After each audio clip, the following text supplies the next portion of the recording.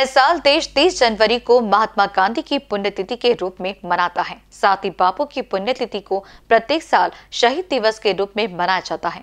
इस अवसर पर नागपुर के विराटी चौक पर कांग्रेस कार्यकर्ताओं ने एकत्रित होकर गांधी प्रतिमा को हार फूल चढ़ाकर गांधी जी को श्रद्धांजलि अर्पित की। आज़ादी की लड़ाई में प्रमुख स्वतंत्रता सेनानियों में से एक महात्मा गांधी भी रहे। सत्य और अहिंसा के मार्ग पर चलकर उन्होंने अंग्रेज़ों को भारत छोड़ने के लिए मजबूर कर दिया। कोई उन्हें बापू कहता है तो कोई देश का राष्ट्रपिता। दोनों का अर्थ एक ही है।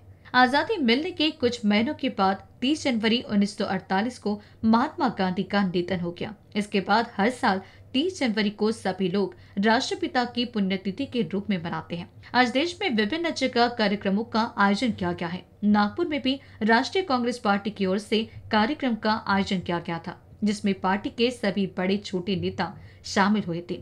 इस वक्त सभी ने राष्ट्रपिता को फूल माला अर्पण कर अभिवादन किया। कैमरा पर्सन राजकुमार मोहर के साथ प्रकाश श्रृंखलवार की रिपोर्ट।